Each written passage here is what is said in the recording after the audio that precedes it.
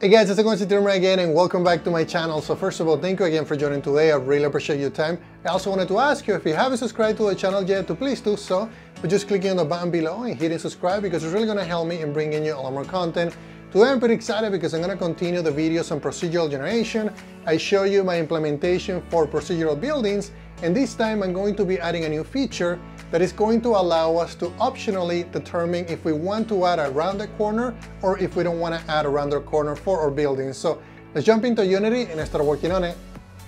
Alright guys, I want to show you what I did on this version of the ProGen procedural generator for buildings that I created a few weeks ago. I wanted to basically generate rounded corners that you can see here on the on the scene view can see that we have an edge here. It's no, it's, I wanted to make it more round, but I think for this version, I think it's fine. So normally I have a fine, a very fine edge on the, on this. So now I have multiple pieces for each one of them and you can kind of see it on this side. And what I did is I make a, a new option to the ProGen generator. I'm gonna zoom out so you can see the, the whole thing. So what you can do now is if I, let's say that I'm going to change the number of floors and I go down and make it smaller and, and as I'm applying the randomization, everything is re getting regenerated. I now have also a wall corner options and I specify here that the minimum is 2 by 2 and the reason why it's 2 by 2 because I wanted to make sure that the code was gonna be it's gonna be simpler if I did it that way so now what I can do if I don't want to do you know those type of corners I can just do you know the edge like I had before. Then I can do that. I can look at it in here and if we go here into shade it and maybe I'll go back to where we had it then you can see that you know we have a fine edge.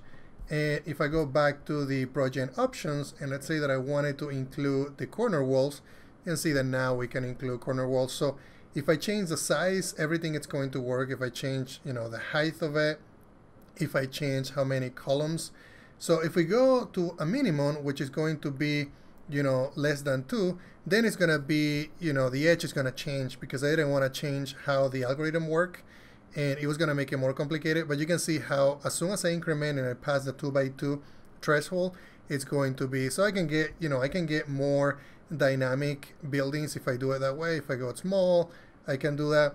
The other thing that is also cool is let's let me make it a little bigger and I'm going to change the cell unit size. You're going to see how that still works. The the buildings separate and the, you know, it still works with the with the new option. As soon as I uncheck the corner walls, everything is going to come back to normal. I can still change my windows if I want to change and randomize the window. If I don't want to randomize the windows, then I can do that as well. And and then and so on. So everything is working and what I'm gonna do is I'm gonna set this back to let's go ahead and do about eight. Or we can do about six here and then let me let me increment this and I'll change the rows. I want to make sure that everything looks good for the you know for the time when I release this to everyone. Oh and the other option that I can also test as well if I want to randomize the rows that still works. You can see that we still have those edges working. If I go ahead and increment this, you can see that everything, you know, everything is working. We just have more flexibility on how the building works. If I change the randomized columns, that is also all working and actually looks really cool. So what did I change on the code and how we can make it, you know, and how we can do something like that. And that's what I'm going to show you in this video. So let's go ahead and look at the couple of components that I have. If I go into the prefabs, I'm going to look at the wall corner simple that I added. So I'm just going to double click it. So this is a fairly simple prefab. I, I just, you know, ended up making a couple of pieces. So if I look at the at the corner wall, now we have three pieces. One of them that starts on the side, one of them that is actually giving us that edge, and then this one that it's giving us the other, you know, the other wall. And the way that it works is I just basically just rotate this and depending on which corner, if I'm on this corner, then I identify that I'm on that corner and if I get to the other you know to the other side then I know that I need to rotate these 90 degrees and then you know and so on if I on the other side or if I'm on this side. So that's how that wall corner simple works. Now if we go into the project and we look at the actual theme so the theme now has few options like I was saying it has the wall corner options it has whether I want to allow corner walls or not and also I have a corner prefab which is the prefab that I just showed you so what changed in the code, and that's what I'm going to just show you next. Let's go ahead and double click on the ProGen. So there's a lot of things that I changed in the code and I, I tested a lot of things. So just don't get overwhelmed because this is gonna be you know available in at some point in get in GitHub. So and you can look at how I implement it. So what I ended up doing is I was asking the question, okay, who should know about the corner walls? Should the room know about the corner walls? Should the walls know about themselves being corner walls? And then, and I think it's a little bit of both. I decided to have the room know that it has around the corner. And if the room knows that it has around the corner, then the room can be the one responsible for actually telling the render that it needs to draw around, uh, basically around the corner. So what I ended up doing is if you go to the wall object, now I have uh, basically an enum. So this determines what the corner type is going to be. The default is going to be normal. That means that we're going to have an edge. And then anything else is going to be, you know, it's going to be rounded. So this is going to be left bottom. If we are on the left bottom, left upper, right upper, and right and right bottom. So this is going to cover all four corners. And then I also have a public variable that sets the wall corner type in the default, and it sets it to normal. So now if I go to the room, I also have a public property that determines if this is this room has a rounded corner. And the way that I implement it, I just loop through, I'm using LINQ to do that. You can loop through if you want to, but I'm just saying, okay, walls, tell me if you have a wall corner type. And if you don't have a wall corner type that is normal, tell me that you have something that is not normal, meaning that it's gonna be a left bottom, a left upper, a right upper, or a right bottom. So that's what this does. If I go back to the project, now we can also look at some of the implementation that I did. So the other thing that I wanted to enforce is that I can only allow a 2 by 2 or more. And that's what this does. This is telling me, okay, can, can I flag the wall as a corner wall?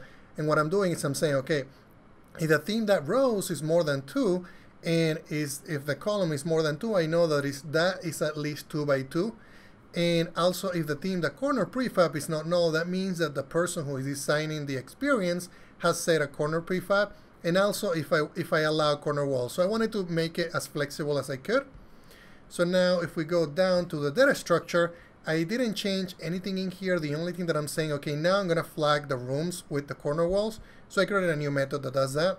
So, and the way that this works is I, you know, I ended up just writing some pseudocode just to make sure that I that I was going to, you know, that it was going to be implemented right. And these are these are actually swap. I ended up just making the bottom there. Let me just swap these ones. And then bottom goes first and then upper goes later later. And this is because of the way that I'm drawing. And we can do this one is gonna be left bottom corner and this one is gonna be left upper corner and then right bottom and just basically swapping them and then this one is gonna be upper. So for corner walls, the way that I'm determining if it's a corner, corner wall, I'm saying, okay, if we if the row is zero and the column is zero, I know that that is on the left bottom because I'm drawing from the left to the top. And then the same thing with the, you know, if I want to identify if it's a left upper, I'm saying, okay, if the row number is zero and I hit my column max, I know that that one is going to be left upper. And then I do the same thing with rows. If rows is hits the max, and then we are on the first column, I'm draw, I'm basically marking them as right bottom. I'm gonna do the same thing with right upper. So this is just identifying all the different corners. Then that's everything that I changed there. The other piece that, that changed is the corner logics will take precedence over everything else because I, I wanted to make sure that that was the case. At least for now, that's the case. So I'm calling my property and I'm determining, okay, room, can you tell me if this room has any, any, rounded, any rounded corners? I'm losing my breath, guys. so what I'm saying, okay, room, can you tell me, does this room has any rounded corner? If it does, and I placed, uh, I basically placed the corners properly, and then otherwise I do what I was doing before. So if I go to the definition of this, this is a little bit more code, but don't get overwhelmed. All it is is just positioning prefabs. So what I'm saying here, okay, room, do you have any walls that have a left bottom? If, if it does, then I draw, I basically instantiate objects in the proper location in the proper rotation. I do the same thing with the left upper, the right upper, and the right bottom. All this is doing is just basically, okay, I flag the walls. Now make sure that you place those walls in the proper position. And the data structure takes care of this. This is more of the rendering piece, which, which I'm calling the spawn prefab to basically spawn those prefabs in the correct location. So that's everything that I have. I'm gonna go, let's go back and then look a couple more things before before I call it good. So let's go ahead and, so this is how this scene work. The, I'm pretty happy with the results. I think this is gonna make it more, a lot more flexible. The other things that I did to this scene, just as a FYI, I went ahead and renamed most of these scenes. I wanted to make sure that things were going to be properly set. And also, if I check it into source code, you guys are gonna see, so this is gonna be a randomizer. If I hit play, you're gonna see that it's going to be placing the structures randomly, and then they're gonna be changing, as you can see right now they're all changing. It looks like I changed one of the structures that I didn't want to change because it's using the it's using the theme that I was using for this one. I'm gonna create another one for the other one. But but that anyways, that's that that's how that one works. Here's one for the Dark Day building. That one also has its own theme. If I go and look at the focus roof, focus on roof building, this one is just so that I can focus on the roof and if I'm making any things that are randomized, then I can see them easily. And I'm gonna see here that I have a little bit of a blue lighting just to give me you know a different look on this on this scene. And then the one that we just looked at was the round corners and then two buildings. This is one that I have multiple buildings so I wanted to test to see how that was gonna look with you know with two different themes associated with this one. These happen to have the same theme but I haven't regenerated the other one. That's why this one is short and the other one is taller and then if we look at the two buildings from the top, just another example of looking at a random generated building and one of them that is separated. And then this last one is just another one where we're doing, you know, balconies versus no balconies. So that's everything that I wanted to show you guys. I'm gonna keep adding more features and then do videos like this to show you what I implemented. Thank you very much, guys. Alright guys, thank you much for watching today. I really appreciate your time and if you have any questions about anything that I just mentioned on my procedural building implementation, please let me know in the comments. Also be sure to check out GameDev.net because they have great resources for game developers and also find me in Patreon.com where I'm basically posting what I'm doing behind the scenes and also early access source code. Thank you very much guys.